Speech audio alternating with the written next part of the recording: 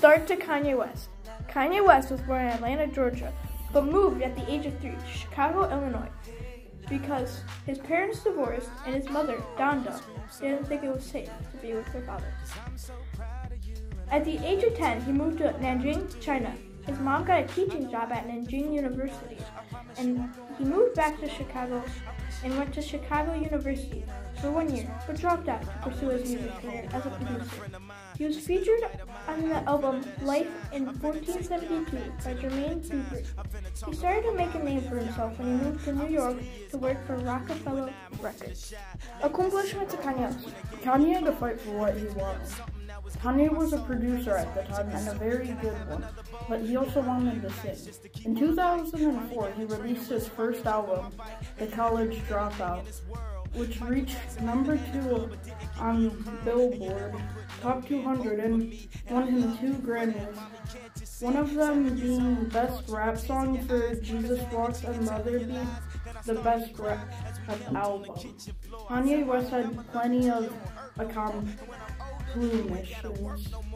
in his lifetime. Kanye has won 24 Grammys, tying for the best hip hop artist with Jay Z.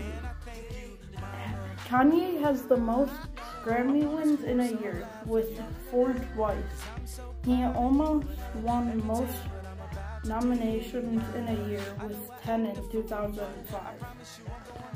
The downfall of Kanye West. Kanye West has always had a mental disorder called bipolar, which means he changes emotions really easily and fast. It also means his emotions are way stronger than an average person. Kanye was very controversial at one point. When he ran on stage at the MTV Music Awards and stole the microphone from Taylor Swift, he said, I'm gonna let you finish, but Beyonce had one of the best videos of all time.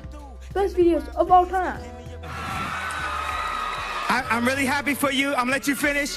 But Beyonce had one of the best videos of all time. One of the best videos of all time. Many people thought this was bad, but the worst was left to come. He later on released My Beautiful Dark Twisted Fantasy, and many people forgave him after that. Later on, he had a very successful music career and had four children with his wife, Kim Kardashian. Everything was going good after he released Donda in 2021. But then his wife, Kim Kardashian, filed for divorce. Kanye then made fun of Pete Davidson a lot because he was dating Kim K, his ex-wife. Kanye just went downhill. No, I get you're you're explaining that, like you said, you love the Zionists. You don't agree with some of the things they're doing, even though you don't support a lot of what's happening. Seriously, I've, I've really studied a lot of history. Plus, I had family that was there, and so I mean, I I don't think Hitler was a good guy. I get the uh, the Hugo Boss uniforms, amazing. Uh, but I mean, just because you're in love with the design, you're a designer. Can we just kind of say like you like the you like the uniforms, but that's about no, it? No, we we no. I, there, there's a lot of things that I love about Hitler. A lot of things. Hey, uh, Netten, what did you think about that, Netten?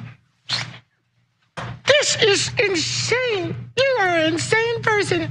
How could you say something? It's okay that. So let me ask you: You like the Azov Battalion because they openly Heil Hitler. They're the leftovers of World War II. They support Zelensky and attacking Russia. So you like the Azov Battalion?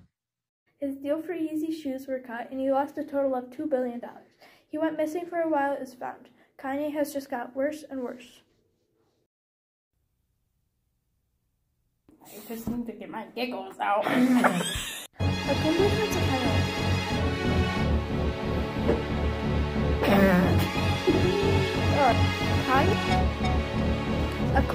It's a funny laugh.